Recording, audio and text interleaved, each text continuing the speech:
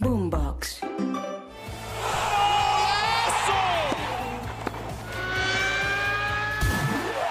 Esto es Titulares Deportivos. Bienvenidos.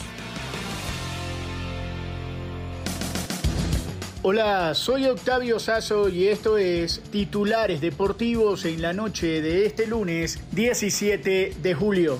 Mientras Juan Guillermo Cuadrado es esperado este día martes en Milán para hacerse los exámenes médicos y ser nuevo jugador del Inter, el equipo subcampeón de Europa, el fútbol colombiano continúa esta primera fecha del torneo clausura terminó con un duelo entre el Deportivo Pereira y el Deportivo Cali. Camila Castiblanco nos tiene todos los detalles de lo que sucedió en este duelo. Octavio, por la primera fecha de la Liga Colombiana, el Deportivo Cali derrotó como visitante al Deportivo Pereira en el estadio Hernán Ramírez Villegas. El marcador lo abrió John Cabal en el minuto 34 y en el segundo tiempo Gustavo Ramírez amplió el marcador en el minuto 81. Sergio Herrera estuvo dirigiendo al Deportivo Cali como director técnico encargado, pese al anuncio de Jaime de la Pava como entrenador del cuadro azucarero la semana pasada. Recordemos que el Cali busca tener un buen semestre, pese a los problemas económicos que afronta y dejar así atrás el primer semestre de este 2023.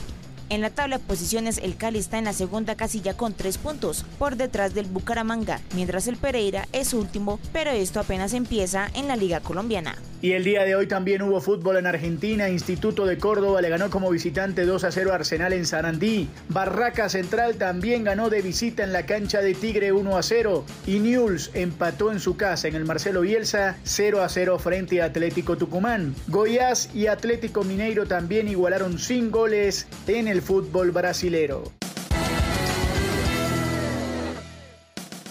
Si quieres opinar, debatir o compartir con nosotros, arroba boomboxco, arroba octasazo y con gusto te leeremos. Nos reencontramos mañana en otra edición de Titulares Deportivos. Sigan conectados con Boombox.